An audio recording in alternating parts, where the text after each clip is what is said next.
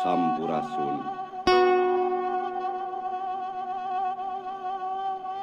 Bisling langki alipna tog enong alam padang tog enong hujang nasing marga enong. Jagat sakepal wis takepal jagat salekar wis taklekar Ya ingsun pangeran Kang Murba Wisesa. Pun sabun. Bul kukus menyan kaulan herang kukus herang kukus tunggal kukus nasang yang tunggal nungasta tilu buana. Bul kukus ngelun kamanggung kamanggung kastang rumuhun. Menyan putih nitis wirik dupa sekar pengawasa. Sub kanu alus datang kanu lenyap. Sukmarasa nusarasa nusasari titis waris nusajati pun sabun. Amit ampunnya paralun agung naka wujud gusti nu maha suci Jembarna kapara luluhur sabudar awun. Kaibu agung karama agung kaibu anu munguran karama antun munggaran. Deheusna ka ibu rama nyuk jadi cukang lantaran urang gumelar di pawanangan. Nyanggakeun ieu sadaya sasaji sapuratina nampi sari namparasa pangasih ti ibu pertiwi bumi ageng bumi alit silokan ing pusaka diri kami kamanusa nusa rasa nusa sari titis waris nusa jati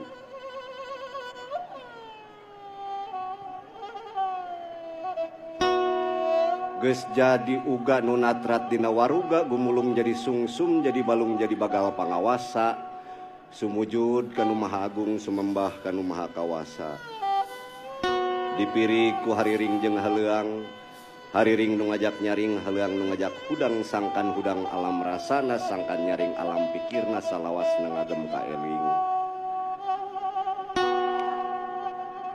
dijajab kurajah Pamunah ngarah mapah Dina lampah Nutumanina diruat ku sasajen sangkan saaji saajen sapangarti jadi Budi parangi anu tata titi surti turnas titi gesan nyangking daya pengawasa Gusti Dinasari rasa jati. Lain musik pula mantena lain ngahudang macan turuna lain ngungkit nu kamari lain ngungkat nu baheula rek ngaguar tutungkusan karuhun. kaluhur nada papayung papayung nu maha agung kahandap nada pangraksa pangrasa maka hak kawasa. Kaler kulon kidul wetan mugi diaping di jari. Dipiriku anjing tumang manuk ciung dina tampan wanaraga galacangan dina luhur galudra sakti jangjang mayung di payun lodaya bodas. Ngageblai naratas jalan turun gunung gumawulung nete akar munding jangkar niti pasirnya orang awangan. muru waktu nyorang mangsa lolongtang zaman nyung sijanggin kamari nyimpai wakca baheula. ambuing wakcabat ya ayeuna. Guguriangna dang yang tunggal pajajaran di paguyuban Pasundan. Kadulur kula anu sajati anu linggih di palih kulon pamuka lawang bakar malaikat na ajal putih.